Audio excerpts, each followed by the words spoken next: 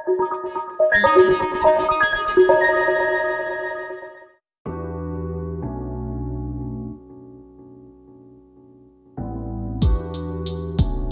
everyone, thank you for joining in. I would like to present you my review of Samson Go Mic Portable USB condenser microphone. So without further ado, let's start with unboxing.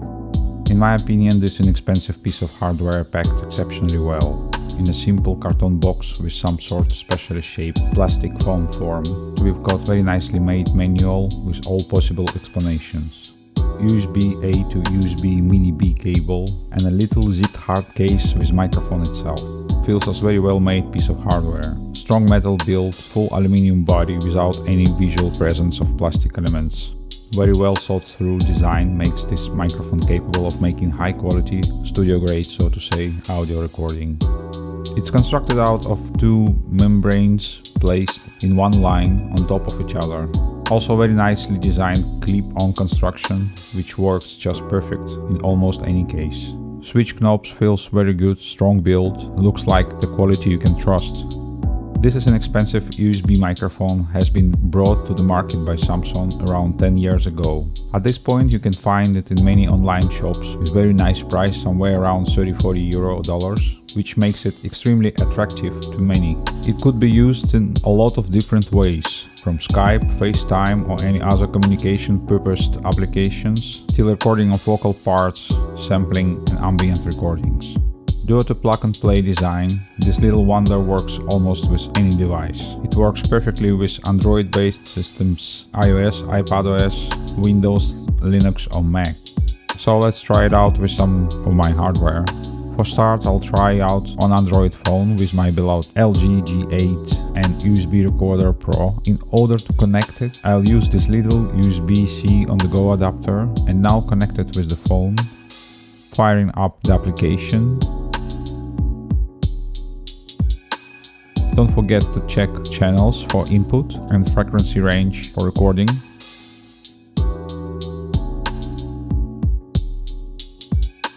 works very well. Nice clean recording. Moving on further to iPad OS on iPad Pro. This is plug and play device, so iOS recognizes it right away and after confirmation is completely integrated in the system. So it is indeed very easy to use. Now firing up GarageBand Just one more time checking on the ins and outs and we are ready to record.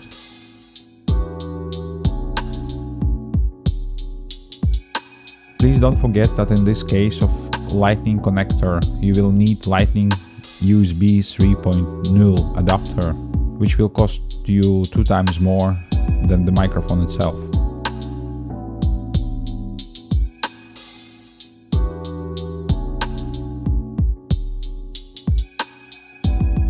I have to point out that it also has a good headphones amplifier, which can drive quite heavy studio headphones without any problems.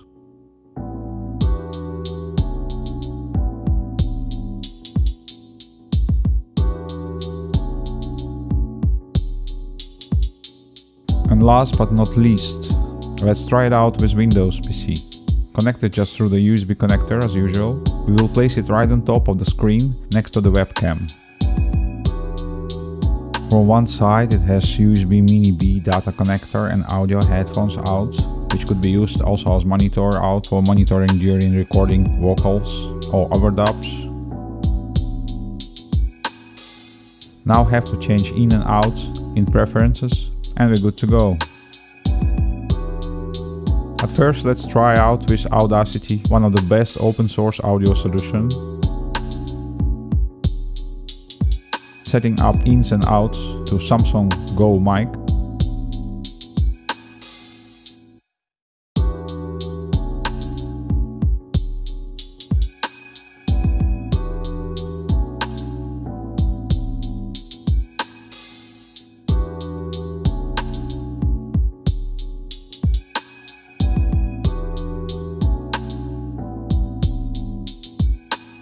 press record and go.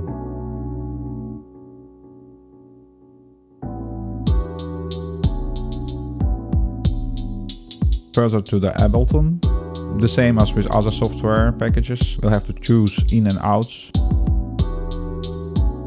This condenser USB microphone has two polar patterns, could be used as cardioid or omni, depending on the situation.